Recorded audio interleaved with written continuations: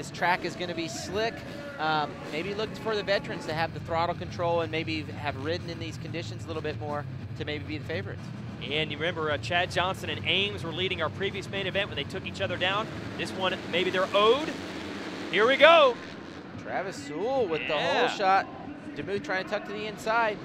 Sewell starts have been good. And DeMuth gonna try to run it down the inside of the whoops. and he immediately pass. goes to the lead. And wow, Nathan Skaggs passing two riders at once. Can he make it stick on Sewell? No. Sewell gets back inside. You see him look over to see if Sewell's coming. I think he's seen he had the inside, just kind of checked up a little bit. Make sure you don't take each other out on the first lap there. All right, so if you're uh, Josh DeMuth out front, you're loving this.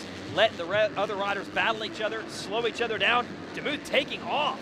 Yeah, he's got to go. Right now, he needs to put time between them and sprint these first few laps, get that gap. Then he can start worrying about how the track's developing, being smooth, make sure he's hitting his mark so we don't lose the front end or rear end in this slick conditions. One thing about Tyler, you know, he, he even when he gets a bad start, it always seems by lap four or five, he's up into the top three.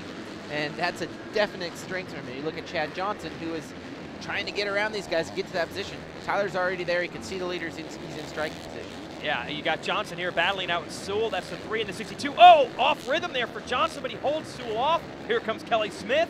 Kelly Smith looks like he should be able to. Oh, he cased it though. He'll make the pass.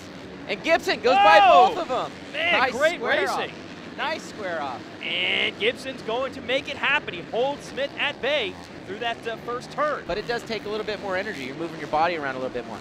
Um, so you, sometimes it's Here harder to do for the whole main event. Right, so he's got to pick his spots. When can he sprint? When can he rest? Looks like he's putting out another sprint, but Demon holds him off again. He's Here going he for this inside again. And this time he's got it. No, he's got to be a little nice. Remember, they're both teammates. DeMuth Nice. chops him down from the outside. Nice from Josh right there. He, he really felt him coming in. Left him still a little bit of room.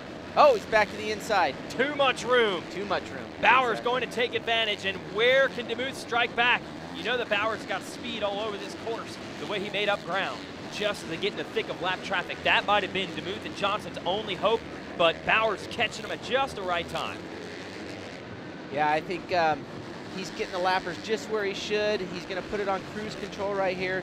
Just hit his marks um, and take it home for the victory. He's looking good.